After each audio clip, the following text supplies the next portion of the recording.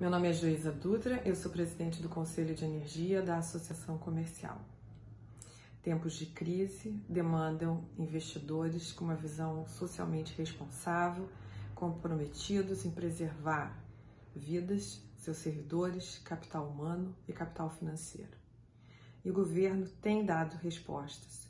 Recentemente, para o setor elétrico, publicou uma medida provisória de número 950 que garante condições de pagamento para usuários, principalmente de baixa renda, e também condições de acesso a crédito e alívio de capital para as empresas. Esse é o caminho para uma retomada segura e rápida da economia do Brasil e da economia fluminense.